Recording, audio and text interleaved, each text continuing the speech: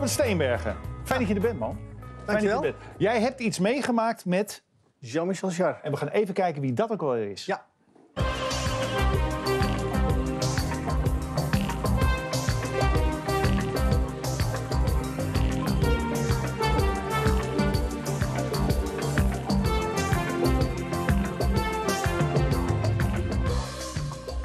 Nou ja, dit kennen we allemaal.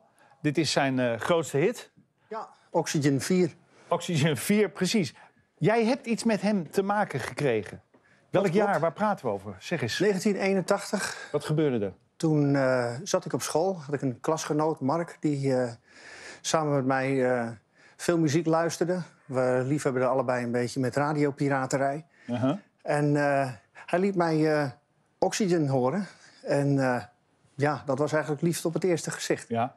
Ja, die klanken die daaruit kwamen, zeg maar, die, eh, ja, die vond ik erg magisch en betoverend. En toen? Jaren later eh, eh, op een concert van Jean-Michel Jarre in Carré. We spreken 2008. Toen, ja, toen wilde ik eigenlijk het orgel hebben waar Jean-Michel zijn sound aan te danken heeft. Want jij bent organist. Ik, nou, ik ben toetsenist. Maar Wat is gewoon, nou ja, Ik denk dat ik het verschil begrijp. dat is, eh, ja, ja. Komt Ja. niet in de kerk, zeg maar. Nee, zo is het wel begonnen trouwens.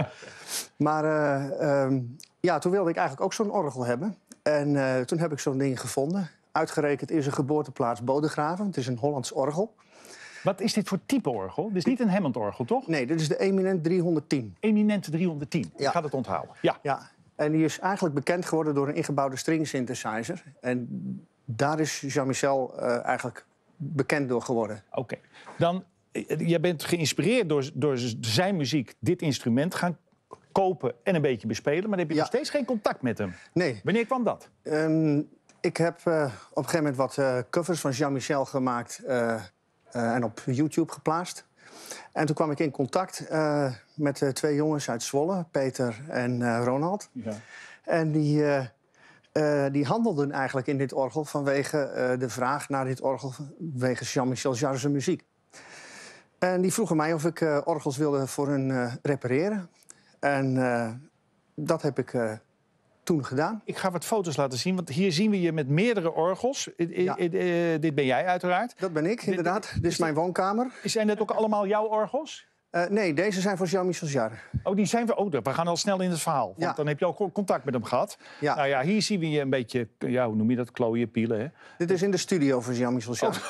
Bij mij. We hebben hem nog helemaal niet ontmoet. Wanneer Nee. kwam die man in je leven?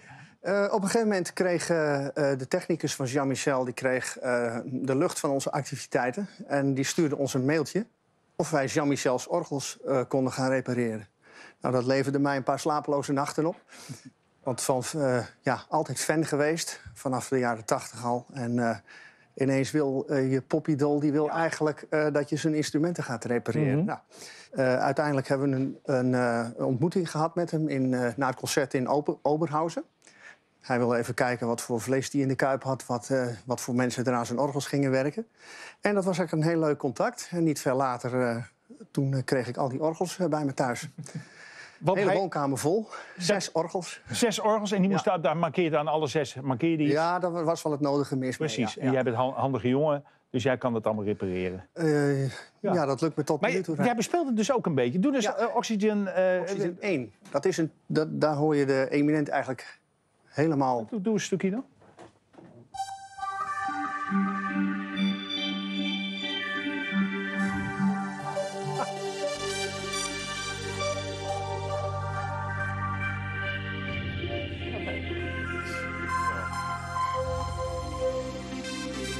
Ja, mooi man. Kijk. Even, we gaan even. Kijk, ja, ja, ja, ja. ja, ja, ja, ja. klein applaus. Een klein applausje, zeker. zeker, zeker. Van, van, ons, van ons viertjes. Ja. Ehm, mooi. Het klinkt Ja, ook dat meteen is mooi. de klank waar ik ja, eigenlijk nee, maar verliefd ik herken, ja, dat kan ik me voorstellen, man. Ik herken Ja. het ook meteen. Ehm, er moet altijd bewijs geleverd worden. We hebben hier nog steeds foto's van jou met de orgels. Maar dat moeten we maar geloven. We willen Ja. echt bewijzen, anders doen we het Ja. niet. Klein stukje film dat jij met Jean-Michel Jarre zit je iets te bespreken. Gewoon, Ja. Doet er verder niet toe, we zien jullie gewoon even samen. And there is also uh, in. MIDI in. Yeah, MIDI in for not only for sustain, for, for everything. Voor de sustained. And for also the notes. Ja, dus The, the French strings ensembles. Yes, that's right. Ja, grappig. grappig. Hebben jullie nu veel contact? Nou, door corona is dat wat eh, minder geworden. Ja? Hij, eh, hij doet wat eh, online optredens nu. En, eh, Maar in principe hoor jij eigenlijk bij zijn entourage. Als hij weer gaat toeren, als hij op gaat treden... hoor jij daarbij als, als, als manager van alles, mechanicien... eh, luitenant eerste klas. nou, zover wil ik niet gaan. Maar eh, als, ik, eh, als hij eens wat van me nodig heeft... En, ik koop ook bijvoorbeeld instrumenten voor hem in. Als hij wat, eh, wat bijzonders zoekt, dan, eh, vraagt hij, eh, dan vraagt hij mij of ik wat voor hem wil Wat, opzoeken. wat is zijn status? Ik weet het eigenlijk. Staat hij nog steeds in stadions te spelen? Is dat, is Hij doet hele steden, joh.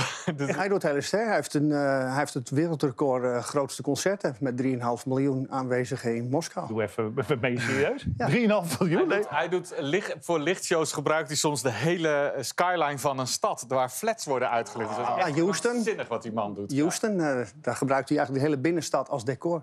Mooi man. We, we zijn met z'n- we zijn met z'n- met z'n- met z'n vijven. Maar eh, we gaan jou een groot applaus geven. Ja. Dankjewel. Vind je Lady Gaga ook leuk? Eh, Hoeft ik niet. ga Hoeft meer niet. eh, de synthesizer kant niet. op. Hoeft niet. Dankjewel.